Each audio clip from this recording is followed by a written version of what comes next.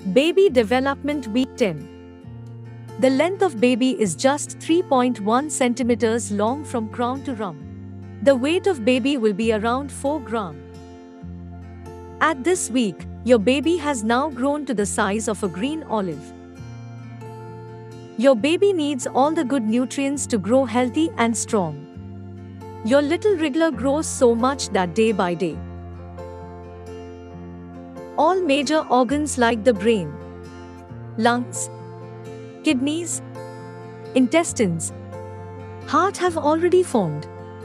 However, they will need a bit more time to fully function. Ultrasound If you go in for an ultrasound scan anytime this week, you would be able to see the clear outline of the spine. You will also notice that the head of your baby is half the length of the whole body, with the forehead sitting high on the head. Baby's bones. Week 10. Week 10 with your baby's growing bones? It sounds impossible, but it's happening. The bones of a fetus are just some of the fastest growing anatomical structures while still inside the womb. Remember that an adult human body has 206 bones, so a lot of time is needed to grow these structures.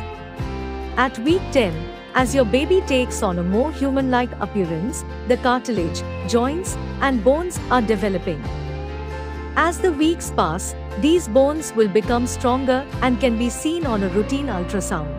Stay tuned for next video. Thank you so much for watching this video. For more information about your baby development and to double your joy and happiness, install our pregnancy tracker application from the store. And also you can check the link in description.